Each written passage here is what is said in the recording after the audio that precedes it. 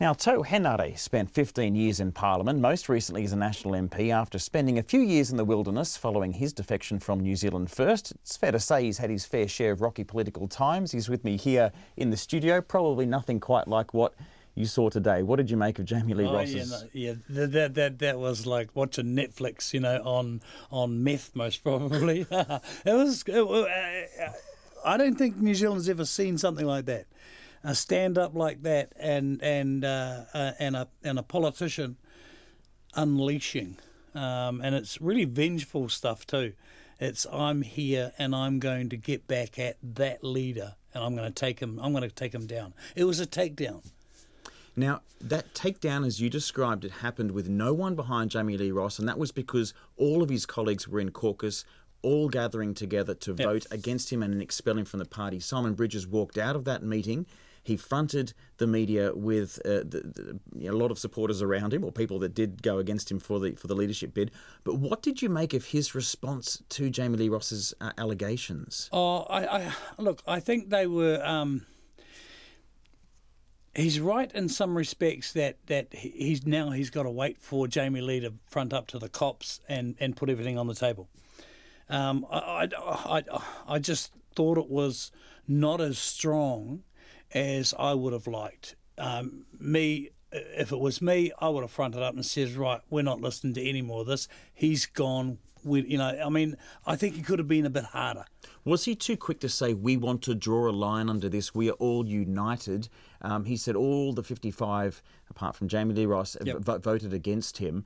Um, some of these people are your former colleagues. Have you been in touch with them? Have you got a, a, your finger on the pulse in terms of just how united or disunited this party is? Oh no, they are not. They are united. They'll rally around Simon, but only as long as um, the the polls um, stay reasonable.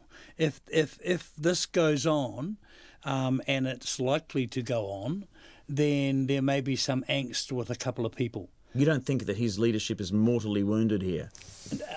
As of six o'clock tonight, no, I don't.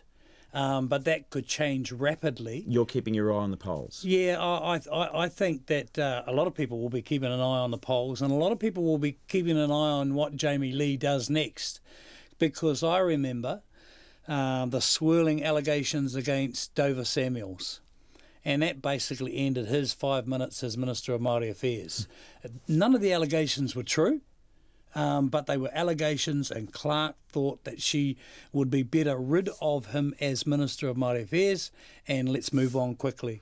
There's a lot more to come on this. There's a lot of unanswered questions. If Jami-Lee Ross is right here in telling the truth that he was not the initial leaker, it means, doesn't it, that there is a, a another member of the National Party caucus that is suffering from serious mental health issues and needs that support. What do you make of this? Uh, uh, what I would say is the guy with the mental issues was on TV this morning at 11 o'clock, um, as far as I'm concerned. He's the leaker. He's, yeah, well, well it, it, in the P, PwC report, it doesn't say so, but it alludes to the fact that he's most probably the most likely leaker. But, but, but we're not talking about that anymore. Not, nobody's talking about the leak anymore. We're talking about a guy that months and months ago started uh, recording conversations with the leader in, a, in a, basically in an entrapment style uh, uh, conversation with the leader, and he was planning this ages ago. That's what I get from the the takedown this morning. This has been a like a concerted effort by Jami-Lee to get as much crap on Simon as possible for this date. If that crap, as you described it, sticks, though, I mean, and the Well, polls go, has. and the polls go down. Yep. I mean, how long has Simon Bridges got? Oh, I give uh, look. Let, let's say I give them to the uh, the end of the by election, and I don't know when that's going to be. I don't know, eight weeks. Right. In that case, who takes over as the leadership of the, leader of the National Party? Crosby, now you're asking me to uh, get the lotto numbers.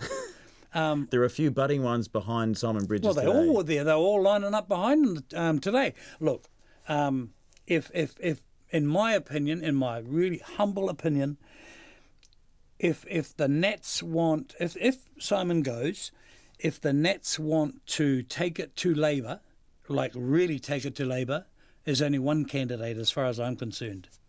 JC. She's the girl, Crusher. And, and, and I'm not saying that um, because I like her or anything like that. Hell, I like Simon.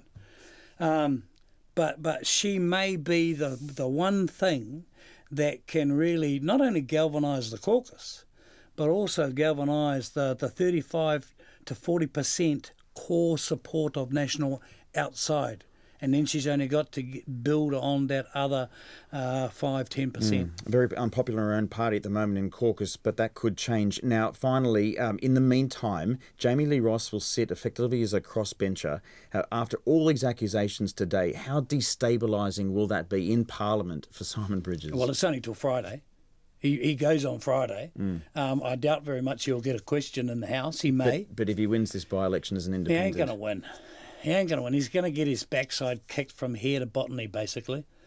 Um, and, and, and the sad thing is, what happens after the election to Jami-Lee, his wife, and the kids is because who's going to employ somebody who's willing to sit down with the boss and record the boss for later later episodes?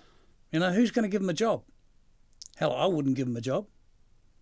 We'll have to leave it there. But thank you very much, Tau Henare, for your political analysis there. Someone who's very experienced in politics and how these things work.